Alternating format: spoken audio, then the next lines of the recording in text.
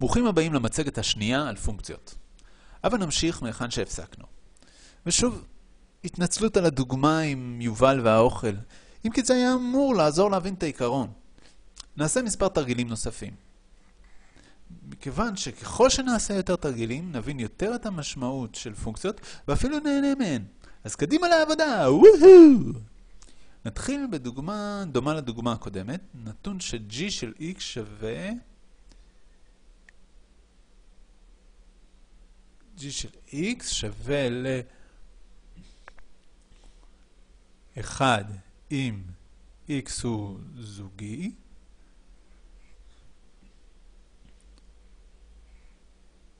ושווה ל-0 אם x הוא אי-זוגי. זה קצת uh, פילוסופיה של מחשבים, לא? בנוסף, f של x שווה ל-x ועוד שלוש... לא, ועוד, uh, ועוד שלוש פעמים g של x. כעת נעשה את התרגיל ממש מסובך. עדיין לא בעצם, כרגע לא נקשה.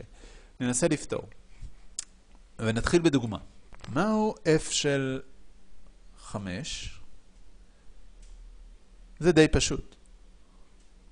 ניקח את ה-5 ונחליף אותו ב-x שבפונקציה f. לפיכך, f של 5 שווה ל-5 ועוד 3 כפול g של 5, נכון? פשוט לקחנו את ה-5 והצבנו בכל מקום שפגשנו את ה-x. אם במקום 5 היה לנו כלב, כלומר היה לנו f של כלב, וזה היה שווה לכלב ועוד 3 כפול g של כלב. אין לזה שום משמעות בתרגיל הזה, אבל הבנתם, נכון? לכן f של 5 שווה ל-5 כפול 3 פעמים g של 5. ולמה זה שווה? יש לנו 5 כפול 3 פעמים, מה זה g של 5? אם הפונקציה פה מקבלת 5, אז אם 5 היה זוגי, היינו מקבלים 1. ואם 5 הוא אי-זוגי, נקבל 0. כמובן ש-5 הוא אי-זוגי ונקבל 0. לכן g של 5 שווה ל-0, לכן כאן יש לנו 3 כפול 0, ותוצאה היא 5, כי 3 פעמים 0 זה 0, ולכן נשאר רק 5. מה יהיה אם יש לנו f של 6? ובכן, f של 6 יהיה שווה ל-6 כפול 3g של 6, 3g של 6. שוב, זה שווה ל-6 ועוד פעם יש לנו g של 6, ו-6 הוא זוגי, לכן נקבל 1. אז g של 6 שווה ל-1. תוצאה לכן היא 6 ועוד 3 כפול 1, וזה שווה ל-6 ועוד 3, שהם 9. הרעיון בוודאי יותר ברור. כאשר רואים פעם ראשונה בעיה כזו, זה נראה מבלבל. אבל צריך לזכור שפשוט לוקחים את האיבר בסוגריים, מציבים אותו במקום ה-x, וממשיכים כך לאורך הבעיה. נעשה תרגיל קשה יותר. אם למשל f של x שווה ל-x בריבוע ועוד 1, ו-g של x שווה ל... 2x ועוד f של x פחות 3. ו-h של x שווה ל-5 פעמים x. ועכשיו באה השאלה האכזרית. מהו h של g של x? לא, לא, לא, לא, לא. מהו h של g של 3? סליחה, סליחה. נבחר איבר, מספר. בהמשך יהיה מעניין כאשר נשאיר את ה-x במקומו ועדיין נפתור את הבעיה. אך בדוגמה הזו נציב איבר, והשאלה היא מהו h של g של 3. אולי חלקכם נבהלים ולא יודעים מהיכן להתחיל. נפתור ביחד שלב אחרי שלב. מה אנחנו יודעים? האם נוכל להסיק מהו g של 3? כמובן. ניקח את ה-3 ונציב אותו לתוך הפונקציה g. ונראה מה נקבל. אנו התחלנו עם ה-g של 3. לפיכך, ה-g של 3 שווה ל-2 כפול 3, נכון? 2 כפול x, שתחלפנו את ה-x עם ה-3. יש לנו 2 כפול 3 שזה 6, ועוד f של, פשוט נחליף את ה-x שוב, זה 3 פחות 3, נכון? אז ה-g של 3 שווה ל-6, ועוד f של מה? אם 3 פחות 3 זה 0, אז צריך למצוא מהו f של 0. יש לנו את ההגדרה של הפונקציה f, כאן יש לנו f של 0, נחליף את ה-0, נקבל 0 בריבוע שזה 0 ועוד 1, כלומר f של 0 שווה ל-1. ניקח את התוצאה הזו ונחליף בה את ה-f של 0. נקבל ש-g של 3 שווה ל-6 ועוד 1. לכן g של 3 שווה ל-7, נכון? עכשיו, אנו יודעים מהו g של 3, נוכל להשתמש בזה כאיבר בפונקציה הזו. זה אותו דבר, אנו יודעים ש-g של 3 שווה ל-7, כלומר יש לנו כאן h של 7. אז h של 7 שווה ל-5 כפול 7, שזה 35. זה באמת די מבלבל ולא פשוט, אך עם קצת רצון נצליח. הכי חשוב כאשר רואים בעיה כזו, זה להבין עם מה להתחיל. ה-h של g של 3 נראה מאוד מבלבל. מה עם ה-g של 3? אפשר להתחיל איתו? אפשר בהחלט. מוגדר לנו מה לעשות כאשר הפונקציה g מקבלת איבר ב-x, או במקרה שלנו 3. זה מה שעשינו, ביררנו קודם כל מהו g של 3.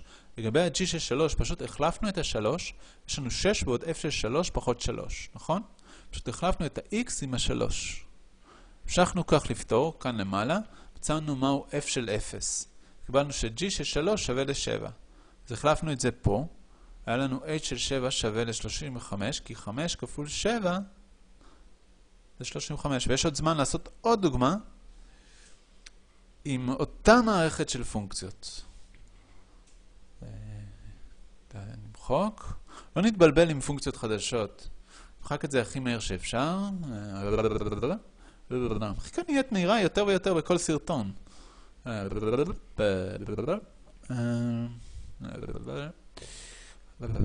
ואתם יכולים לזמזם נעימה בעת המחיקה.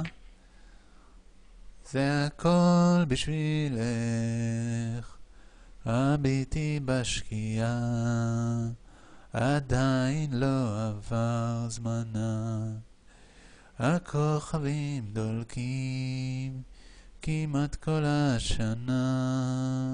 טוב, אוקיי. סידרנו? אוקיי, נעשה עוד בעיה. מהו f של h של 10? f של h של 10. קודם כל נרצה למצוא מהו h של 10, נכון? ניתן לעשות את זה גם בדרך אחרת, כפי שנראה מאוחר יותר, בדרך הזו אין לנו בעיה למצוא את h של 10. פשוט ניקח 10 ונציב במקום ה-x. אם ה-h של 10 שווה ל-5 כפול x, אז במקרה שלנו ה-x שווה ל-10, ולכן התוצאה היא 50. אני יודעים אותה כי h של 10 שווה ל-50. אז פשוט נחליף אותו כאן. כאיבר. נאמר ש-f של h של 10 זה כמו f של 50. עכשיו זה די פשוט למצוא את ה-f של 50. איזה כיף. פשוט ניקח את ה-50 שגילינו ונחליף פה. יצא לנו 50 בריבוע ועוד 1. אם כן, 50 בריבוע זה 2500 ועוד 1. התוצאה היא 2501. זה כיף, נכון? כמו פאזל. ומהו g של h של 1? g של h של 1. g של h של 1. שוב, ניקח את ה-h של ה-1, וזה יהיה לכן, זה שווה ל-g של 5, 5 כפול x. בפונקציה g של 5 נחליף את ה-5, את ה-x ב-5, נקבל 2 כפול 5 ועוד f של 5, פחות 3, זה 2. כל פעם שראינו x, החלפנו אותו ב-5.